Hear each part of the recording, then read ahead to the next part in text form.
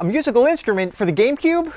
Eric, I'm going to start off by grabbing the game you got. You left a note saying this game was your childhood. You're going with Donkey Kong Jungle Beat. All right, Eric, now for that accessory. You picked up the Donkey Kong bongos. These things are so much fun, let's check them out. There's little pressure sensitive buttons on each side, and in the game you got, use this as the controller. You hit the drums to make Donkey Kong run, jump, do backflips, pound the ground, leap off walls, and more. Okay, let's get it all packed up. I'm gonna throw in a gift.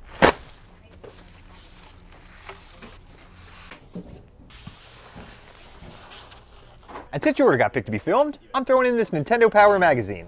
It's got a whole feature on Donkey Kong, plus lots of other games too. Thanks a lot, Eric. It's shipping out today.